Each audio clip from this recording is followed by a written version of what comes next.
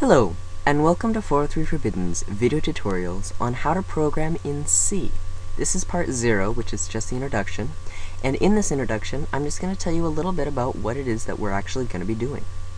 In these tutorials, my goal here is to teach you how to use C 100% completely, so that you can sit down at a computer with the C standard library installed and the GNU compiler collection installed, and be able to write a program to do whatever you want.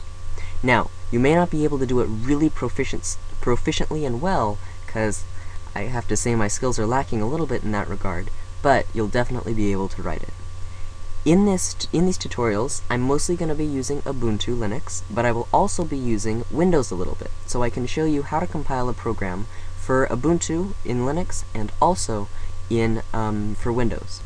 So, mainly we're going to be using GCC, the GNU Compiler Collection. Its website is gcc.gnu.org. Down at the bottom it has status, up news, stuff like that and everything. And we're also going to be using MinGW, or MingW. I don't quite know how it's pronounced.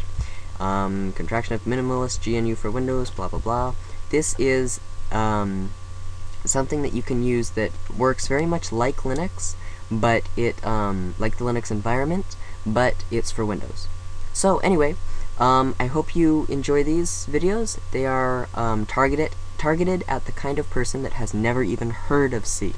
So, um, so if these things don't quite make sense to you, um, they will in time, and hopefully by the end of this you'll be able to be programming in C. So, I hope you enjoy the videos,